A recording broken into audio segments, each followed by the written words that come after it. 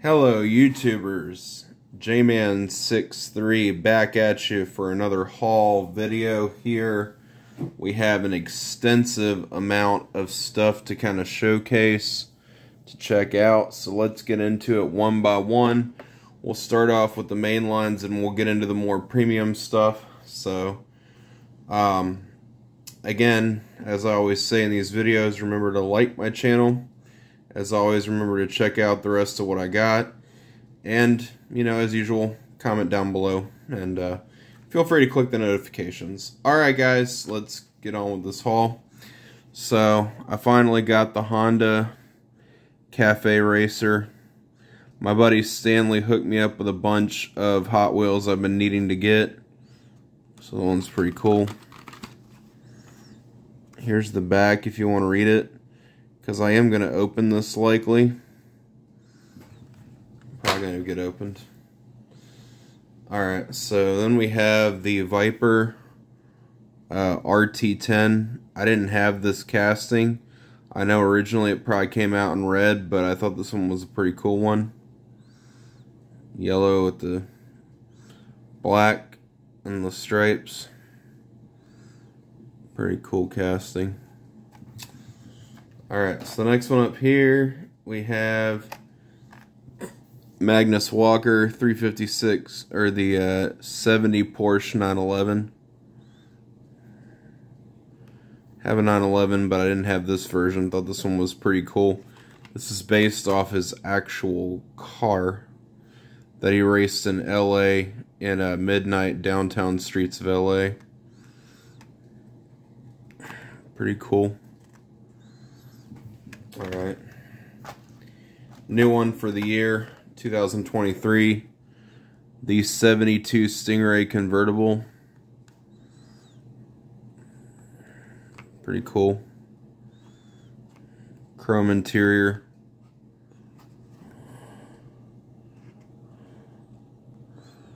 Headlights there, part of the window. Looks like Very nice. Alright, so I got some JDM of the JDM set. This one's the Fair Lady Z, or the, yeah, the Fair Lady 200. Headlights in the front. I don't know if there's taillights in the back or not. Pretty cool piece. Walmart set, exclusive to Walmart. And I got the Honda Prelude. Pretty cool model. I like the fact that I got this in red finally now. And then we have the Toyota 2000 GT. This one's pretty cool. Alright, so onward more to some uh, other stuff. Finally got the Supernova Gasser. This one's pretty cool, almost matches the old Supernova uh, that they had, so this one almost like an homage to that car. So if you can't afford the Supernova, this is the dollar version. Still pretty cool piece.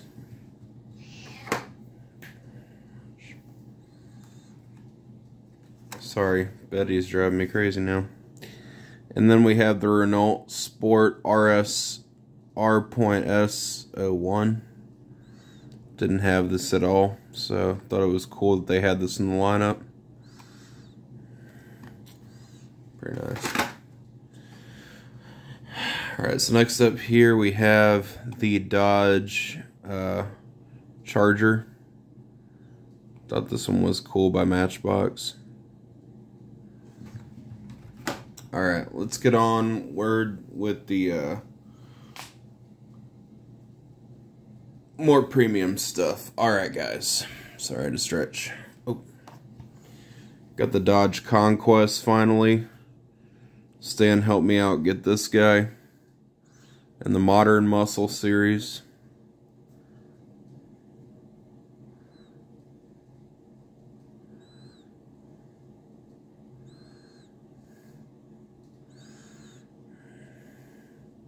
Pretty cool. And then up here we have the uh, classic collector 10 series. This one is the Corvette, the Z06 2012. Pretty cool. Next up here, I don't really have a whole lot of El Caminos, so figured this one was pretty cool. Liking that blue. The tins are pretty neat, but you definitely pay up for these. And then also got the uh, Pontiac Firebird. The, or yeah, the Firebird, the Catfish. Well, the Camaro, it's called the Catfish Camaro. I'm not sure what they call this gen of Firebird. I was about to say Catfish Camaro, but I know that would have upset a lot of people. But this Firebird's pretty cool. Alright, next up here, we're going to get show this off last. So, got the Hot Wheels Speed Machines 4 GT. Happy to have this guy. Finally got him in the collection. Here's the back. I want to get that Porsche 911 so bad have the rest of what I want in this almost. And I finally got from my buddy Stan. Whoa. Knocked the camera.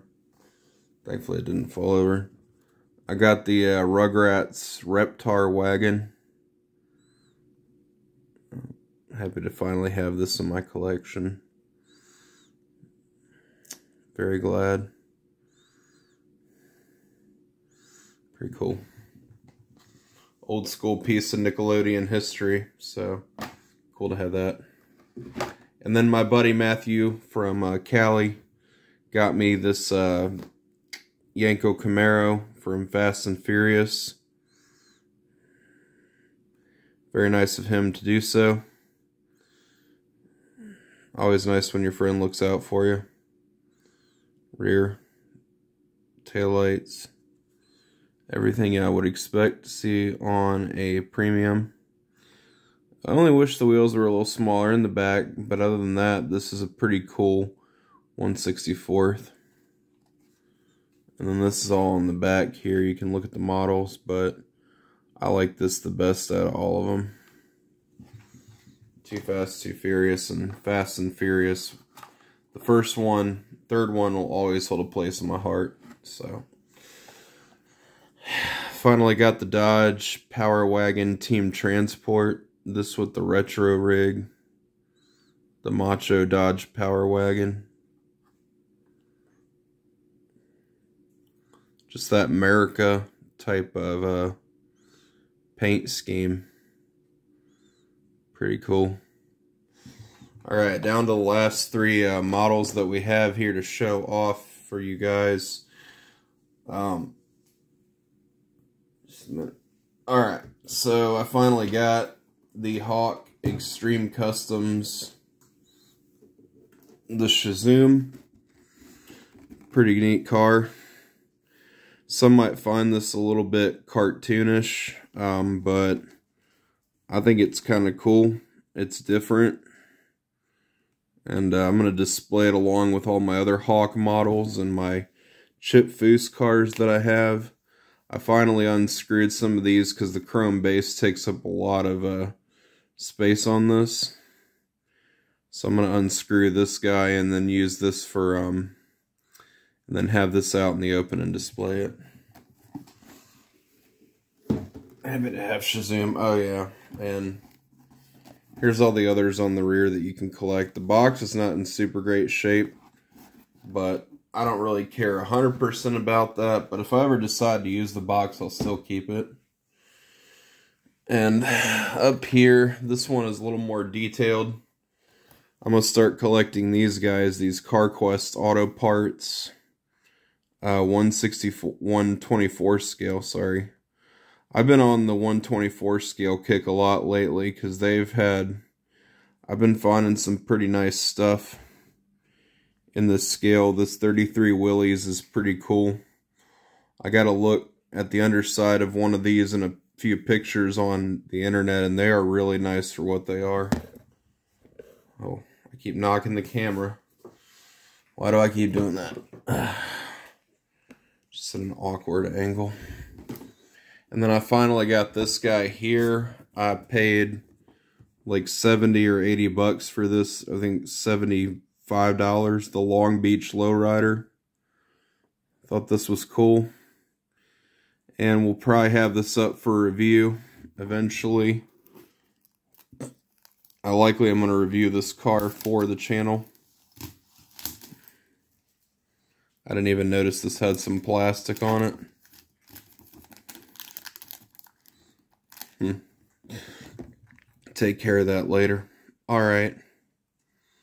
Thought this one was pretty nice. They don't really have a lot of castings in these Lock Riders and Long Beach Lowriders, but this is by Malibu International. So I thought this was really cool. There we go, I got the plastic off. So yeah, pretty nice looking lowrider there. Happy to finally have it. That's what I think. Some of the plastic is starting to delaminate.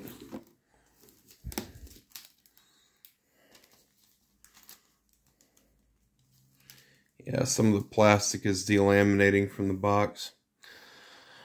Alright guys, well, that's everything that I have for this haul video. As always, remember to check out the rest of the channel for more content. And uh, as always, it has to be the J-Man 6-3. Just wanted to keep this one short, simple, to the point. I will see you guys on the flip side. Later.